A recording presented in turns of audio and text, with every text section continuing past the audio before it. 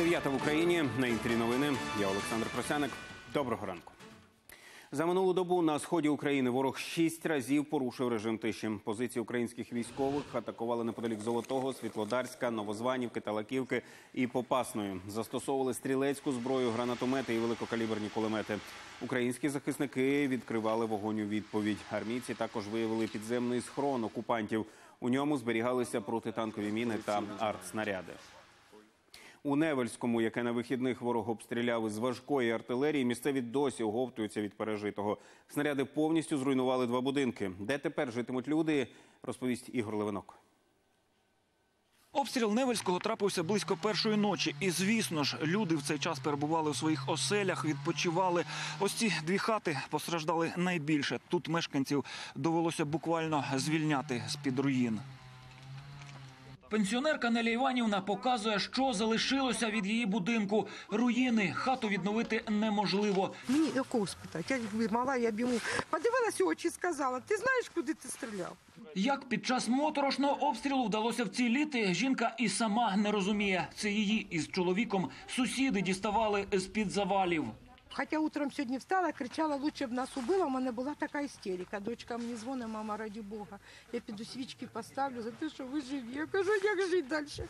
Ворог годину бив по мирному селу з артилерії. Лежать нерозірвані гаубичні снаряди. Невельське розташоване за 4 кілометри від передової. Армійських позицій та укріплень тут немає. Під вогонь потрапили військові медики. Тяжкого поранення зазнав 53-річний санітар.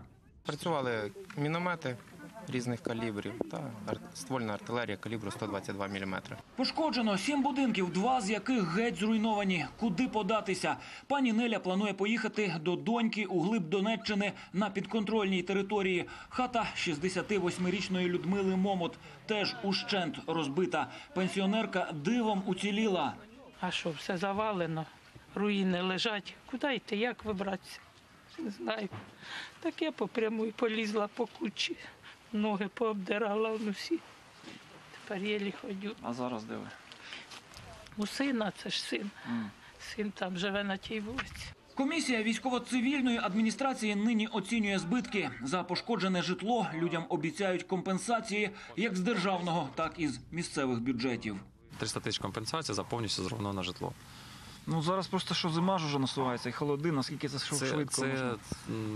е, робиться не дуже довго, це можна на протязі двох тижнів зробити. Із Донеччини Ігор Левинок, Богдан Савруцький, Олег Зубов. Новини телеканал Інтер. Понад 16 тисяч українців минулої доби захворіли на ковід. Одужали майже 22 тисячі. 838 хворих померли. Найбільше заражень у столиці на Дніпропетровщині та Одещині. Із четверга в червону зону увійде Вінниччина. Натомість Луганщина, Херсонщина і Волинь незабаром можуть перейти в помаранчеву. У цих регіонах поменшало інфікувань і пацієнтів у ковідних лікарнях. З початку пандемії вакцинувалося понад 21 мільйон українців. Із них повністю щеплені майже 9 мільйонів. Кожен, хто зробить два щеплення проти ковіду, отримає від держави тисячу гривень через застосунок дія. Про це напередодні заявив президент Володимир Зеленський. Людям, які не мають смартфона і не можуть завантажити дію, виплатять гроші в альтернативний спосіб, запевнив глава держави. Програма стартує 19 грудня. До кінця року на неї буде виділено близько 3 мільярдів гривень. Стільки ж на початку 2022 року. За ці кошти можна буде придбати абонемент у спортзал або фітнес-клуб, відвідати кінотеатр, театр, музей, концертний зал чи виставочний центр, або купити квитки для мандрівок всередині країни. На Буковині на щеплення кличуть телефоном, обдзвонюють людей студенти-медики, щоб розвантажити лікарів, які на це не мають часу. Як працюють такі кол-центри, бачив Іван Сірецький. Доброго дня. Вас турбують з поліклініки. Хочемо вам нагадати про другу дозу вакцинації. Студенти Чернівецького медколеджу обдзвонюють пацієнтів першої міської поліклініки, повідомляють, коли і куди треба прийти, щоб щепитися від ковіду. Роблять це уже півтора тижня у вільний від занять час. Ми всі добровільно, якби за покликом серця. Ми ж майбутні медики і хочемо якби допомогти. Це потрібно робити, і е, відповідно це роблять працівники. Але вони можуть робити більш якусь відповідальну роботу. Дзвонити можемо ми. Волонтерять по 3-4 години в день. За цей час один студент телефонує майже 200 чернівчан. Вони обзвонюють в першу чергу тих, хто зробив першу дозу, а потім, уже, якщо залишається у них вільний час, вони починають обзванювати тих людей, які взагалі не мають зараз ніякого щеплення, їх запрошують на вакцинацію. Студенти розповідають, де найближчий пункт щеплення чи центр вакцинації, як він працює. Повідомляють про наявні препарати, якими можна зробити імунізацію. Крім того, доводиться відповідати на питання людей. Вони можуть запитати, коли прийти. Ну, ми знаємо, що Коронавак через 14 днів, Pfizer 21-28 день. Е, можуть запитати, от я захворів, що мені робити? Ми направляємо до сімейного лікаря. Можуть запитати, там, у мене не- мене не ввели в базу даних. Також ми просимо, щоб вони звернулися до сімейного лікаря. Для студентів це своєрідна практика, можливість познайомитись із робочими процесами медзакладу зсередини. Лікарі ж кажуть, що допомога волонтерів нині на вагу золота. Лікарі зараз працюють на виснаження. Вони працюють зараз. Основний потік це у них хворі. І профілактично е, ввечері викликати пацієнтів на щеплення це дуже важка кропітлива праця, тому що просто не вистачає часу. Загалом волонтерять 30 студентів медколеджу. Працюють почергово у чотирьох медзакладах області. Обдзвонили вже понад 8 тисяч буковинців. Якщо звернути увагу, скільки пацієнтів, верніше осіб приходять на вакцинацію, уже черга. І це, скажімо, нас радує в тому питанні, що якийсь результат роботи оцієї кампанії зі сторони студентів він має позитивний свій результат. І хоча студенти допомагають лікарям на волонтерській основі, у медколеджі вирішили відзначити їх за ініціативність, зокрема і грошовими виплатами. Іван Сірецький, Ігор Ріга, новини телеканал Інтер, Чернівці. У застосунку Дія з'явився сертифікат про одужання від ковіду. Згенерувати його можна через 15 днів після того, як лікар внесе дані про хворобу в електронну систему охорони здоров'я Хелсі. Діятиме така довідка три місяці, а от оформити її можна буде лише двічі на рік. Що робити тим, хто інфікується втретє, наразі невідомо. Окрім того, нагадаю, зараз для користувачів програми Дія доступні два види ковід-сертифікатів про вакцинацію: внутрішньодержавний і міжнародний.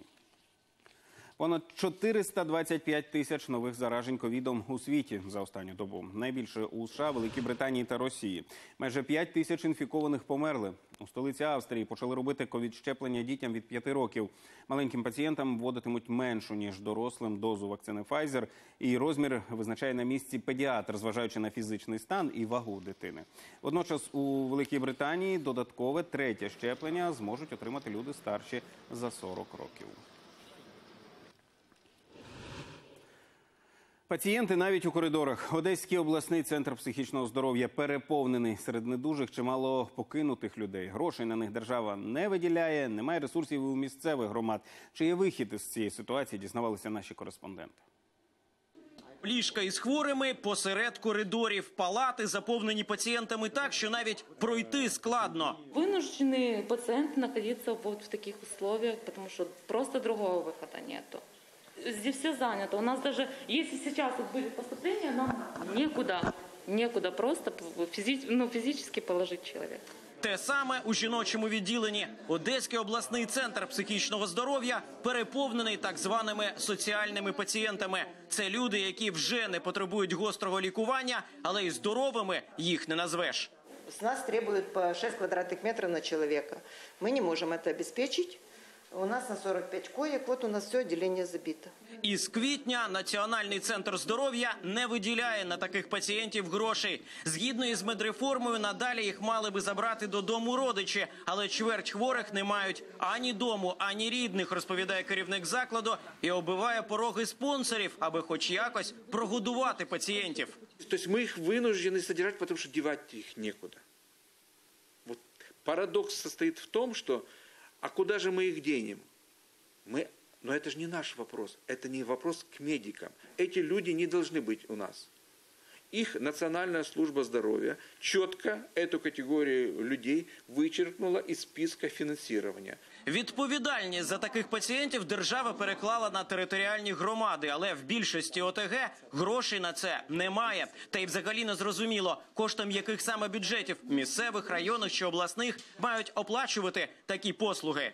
Тут я вважаю, що все ж таки не громада повинна відповідати в першу чергу за це, а ця послуга є е, комплексною спеціалізованою і повинна вона надаватися на рівні як мінімум області. Ці люди повинні розташовуватися в стаціонарних відділеннях психоневрологічних е, будинків інтернатів. На Одещині є п'ять психоневрологічних будинків інтернатів, але всі вони перевантажені вдвічі, розповідають у обласній держадміністрації. Тож нових пацієнтів просто немає де розміщувати. Аби запобігти катастрофі, вважають чиновники. Національний центр здоров'я має відновити фінансування таких хворих, хоча б на перехідний період. вернуть финансирование от НСЗУ. Эти люди получат э, уход, эти люди получат возможность находиться под наблюдением э, врачей, ну и, конечно же, даст возможность и самим психиатрическим больницам не выживать, а полноценно работать. Про необхідність державного фінансування говорять і самі психіатри, адже подібна ситуація спостерігається в усіх областях країни. Прокоментувати пропозиції лікарів ми попросили Мінсоцполітики, але там відповіли, питання належить до повноважень місцевого самоврядування. І доки у владних кабінетах шукають відповіді, на вулицях уже з'являються безхатченки з психічними вадами. Андрій Анастасов, Ігор Міханошин, телеканал Інтер, Одеса. У Польщі затримали українця, який нелегально перевозив мігрантів. Відомо, що чоловік на своєму авто хотів доправити до ЄС шістьох громадян Іраку. Також затримали ще трьох контрабандистів із Великої Британії, Швеції і Німеччини. А ситуація на білорусько-польському кордоні залишається напруженою. Про нові спроби штурму санкцій Євросоюзу і гучні заяви політиків розкаже Тетяна Логунова. Зарін Солейман цілодобово відстежує новини з білорусько-польського кордону. Десь там, у лісах, за тисячі кілометрів від Іраку, її син. До ЄС через Білорусь Камаран вирушив декілька тижнів тому. Гроші на поїздку 12 тисяч доларів позичили в родичів. Мене турбує, що люди просто застрягли на кордоні, і їх не шкода нікому ані Білорусь, ані Польща. Я дуже прошу почуйте голос цих людей. Уже тиждень на кордоні живуть кілька тисяч людей. Щоб зігрітися, вони розводять вогнище. Їжу й воду привозять волонтери. І щодня мігранти намагаються силою прорвати рубіж. Забрати своїх громадян від кордону зголосився Ірак. На четвер запланований перший репатріаційний рейс для тих, хто хоче повернутися додому. Відправити біженців на словах готовий Лукашенко. Мы все делаем для того, чтобы этот э, лагерь не существовал, чтобы э, желающие попали в Евросоюз, но тот, кто не желает, мы готовы, э, как это обычно делали, посадить всех в самолеты, в том числе и Белавия, которые отвезут их обратно домой. Но это люди, надо сказать, очень упертые, по-нашему говоря. Никто возвращаться не хочет. У Євросоюзі Лукашенку не вірять. І Міністри закордонних справ ЄС зробили крок до ухвалення нових санкцій проти Білорусі. Тепер їх можна вводити за інструменталізацію мігрантів. Ну а власне сам уже п'ятий пакет санкцій наразі готують. Утім, відомо, що обмеження запровадять проти фізичних і юридичних осіб, які причетні до перевезення мігрантів. У чорному списку білоруські урядовці, авіакомпанії, турфірми і за деякими даними навіть мінський аеропорт.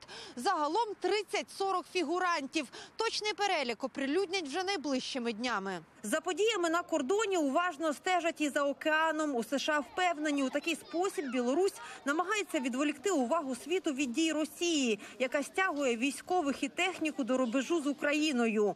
Про це сказав держсекретар США Ентоні Блінкін під час телефонних переговорів із міністрами закордонних справ Польщі і Франції. Тетяна Лугунович, Слав Фролов, Європейське бюро телеканалу Інтер. Безпеку на українських кордонах через ситуацію в Білорусі обговорюватимуть цього тижня в парламенті. і Чекають на звіт міністра внутрішніх справ Дениса Монастирського. А в четвер депутати ймовірно зберуться на позачергове засідання. У монобільшості припускають, що розглядатимуть фінансові законопроєкти. А ще у планах нардепів ухвалення документа про підтримку малого та середнього бізнесу. Потрійне ДТП у Харкові. П'яний поліцейський на перехресті в'їхав у машину попереду. А коли спробував втекти, то протаранив іще два авто. Далі врізався в дерево, і автівка перекинулася. За кермом був 25-річний правоохоронець із Сумщини. Його та ще одного водія ушпиталили. За скоєне порушникові загрожує до трьох років за ґратами. Справу розслідує ДБР. Підпільне виробництво пального викрили правоохоронці на Харківщині. Міні-завод облаштував приватний підприємець. Низькоякісний бензин змішували з різними присадками і продавали як євро 95. Фальсифікат постачали на АЗС Харкова і області, а комунальним і держпідприємствам продавали за завищеними цінами. Гроші розподіляли між усіма учасниками оборудки. Вартість такого пального було значно вище, е, ніж ринкова ціна. За результатами проведення санкціонованих обшуків працівники поліції вилучили е, паливно-мастильних матеріалів е, та об- спецобладнання на суму 192 мільйони гривень. Окрім того, вилучили чорнові записи, які підтверджують протиправну діяльність групи осіб. П'ятеро дітей та один дорослий постраждали під час стрілянини у США. Невідомий відкрив вогонь біля середньої школи у місті Орора, штат Колорадо. Вогнепальних поранень зазнали підлітки від 14 до 18 років. Їх ушпиталили. Життю нічого не загрожує, повідомили в поліції. Стрілець із місця події втік. Його розшукують. Канада потерпає від злив. Надмірні опади спричинили повені і суви ґрунту. Негода найбільше вдарила по півдню країни, зокрема Британській Колумбії. Влада міста Меріта із населенням 7 тисяч жителів закликала людей евакуюватися. Паводок затопив мости і вивів з ладу міську систему стічних вод. Також в одній з громад оголосили надзвичайний стан. Сув ґрунту заблокував дві автомагістралі. У пастці опинилися близько сотні машин. Людей рятували за допомогою гелікоптера. Рекордний холод насунувся на австралійський острівний штат Тасманія. Зокрема, у столиці Гобарті зафіксували 3 градуси за Цельсієм. Це найнижча за 70-річ температура. А ще штат засипало снігом. За словами синоптиків, холодне південно-західне повітря прийшло до Тасманії з Антарктиди. У зоопарку німецького Гельзенкірхена публіці представили трьох новонароджених левенят Джамілу, Кумані і Малайку. На світ дитинчата з'явилися понад місяць тому і весь цей час були під наглядом ветеринарів. Нині ж вони перебувають біля мами. За словами працівників звіринцю, малята повністю здорові і добре набирають вагу. Як розвиватимуться події, дивіться вже випуску опівдні. А в мене поки що все. Гарного вам дня і до зустрічі завтра зранку.